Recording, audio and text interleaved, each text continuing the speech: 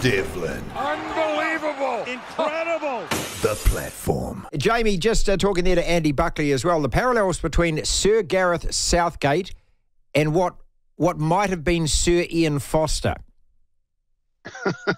Nah. Come on, if he'd, we'd won the World Cup, he would have got a knighthood, man. You know that. Come on.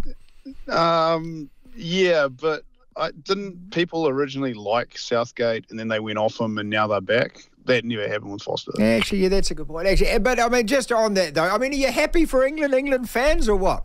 Yeah, yeah, no, I am. I am. I'm. I, I I like this team. Uh, they seem like a good bunch of not just a good bunch of players, but a good bunch of guys, and and obviously it's a team that if you if you have a kind of guess I guess casual interest in football, that these this is the team you know the most about. Yeah, so, yeah, of course, yeah. Uh, so you know, it's a team that I, I follow at, at most tournaments, and and yeah, I'm just uh, it was an exciting game. Um, and but I just I, I I have loved loved loved the way that this is the most um, English way of of going about a tournament. They're finally, you know, with the best chance to build potentially the best chance to win a tournament in 60 years, and they've and they've spent most of the time complaining about it. Okay. Absolutely. As I said, they were throwing things at him only three games ago, Jamie. You know, and this Yeah, is this is yeah, the parallel I draw with Ian Foster. You know, like if Foster had won the World Cup, he'd come home and people would love it, and everyone forgets about that side of it. I'm also, I just, I just on that. Do you, do you- I just get the impression, and maybe it's because you know we we have the colonial link to England and that, but they just seem to be so much fun when they win. Feels like it, yeah, yeah. I mean, I have to, I have to say, like, hard disagree on the Foster comparison, though. I don't think it would have mattered if he won the World Cup.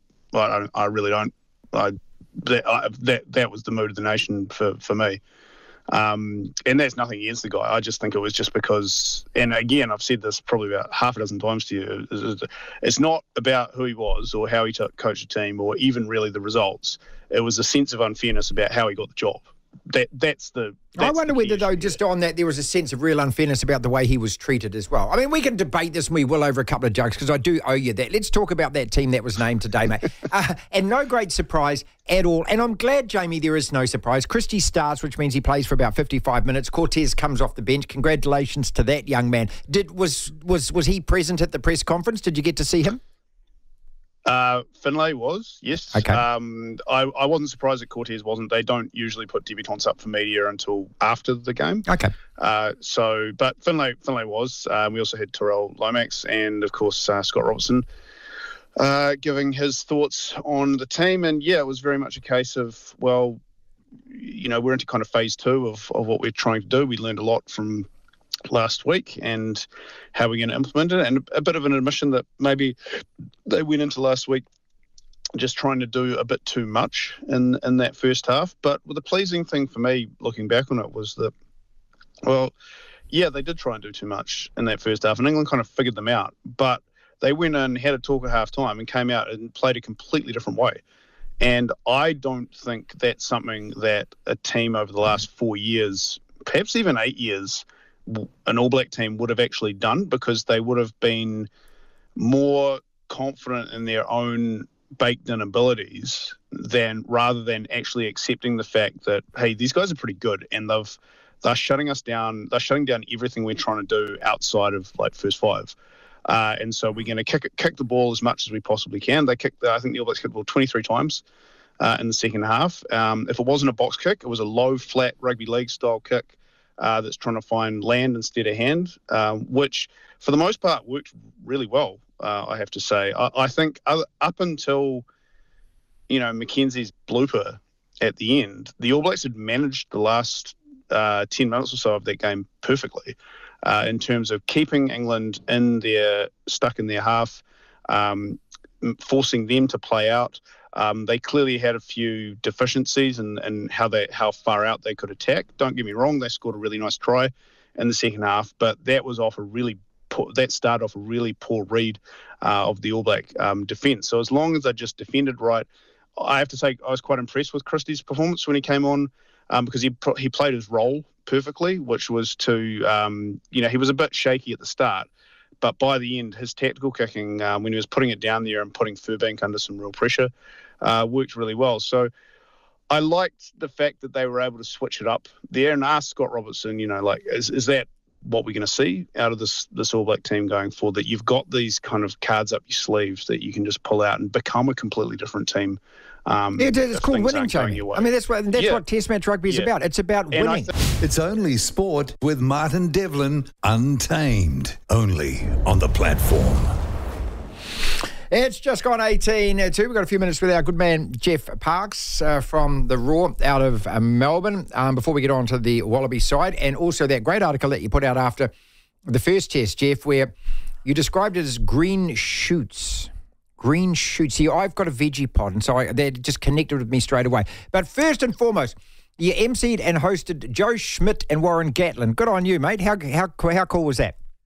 Uh, yeah, we had a big night last night at the MCG. It's been a rough uh, year for uh, Melbourne rugby, uh, obviously, Marty, but uh, last night was a good chance to make up a bit of ground with the test match here on Saturday. And, and we had a big dinner and uh, lots of Welsh people there and a, a, big Welsh choir, and we had the two coaches come along, and they were great value for the crowd. So, um, yeah, they both had uh, a lot to say, a lot of insights about the game, uh, and also talking about the current series. So, um, terrific value for the punters, and uh, look, I can share with you maybe a couple of things go on, where, on, they, uh, where, where, they uh, agreed, and yep. we, we and this is a subject uh, near to your heart. We got talking about TMOs and uh, and their involvement in rugby.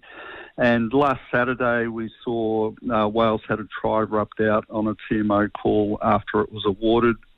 Later that night, we saw Ireland get stiffed uh, about three times by the TMO.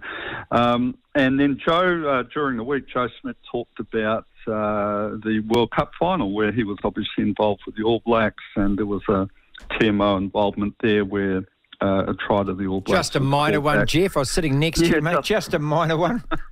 just a little one, yeah. and uh, which we which we took in our stride. Yes, we did. Uh, yeah, well, not really, but anyway, um, you know, so and that was outside the protocols, and uh, so the TMOs have become a little bit of a law to themselves. We've got this two referees by stealth almost, and and uh, we're in this sort of fruitless search for perfection, and uh, and there's a price to pay for that. And of course, we don't always get the perfect answer anyway. So it was interesting to hear uh, Gatland and Schmidt talk about that.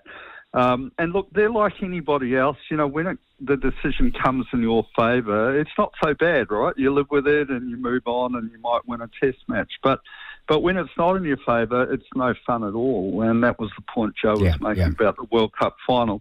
Um, and and just in terms of you know what what does that mean for the game? Slowing it all up, it turns fans off. It, it leaves a bitter taste in people's mouths. So I think you know, uh, if the coaches can get together and put a bit of pressure on uh, World Rugby, and hopefully, you know, there is a movement amongst some people to for more TMO involvement, more perfection, and and I think though the real rugby people and the real fans just want to see them butt out and and let's judge try or no try. And if there's a piece of foul play off the ball that people miss, well, that's fair enough. Let's do that as well. But this going back five phases for a knock on or something like that, yeah, it, it really has to end. Yeah, really, really has to end. And and so it was really heartening to hear uh, both the coaches uh, supportive of that view last night.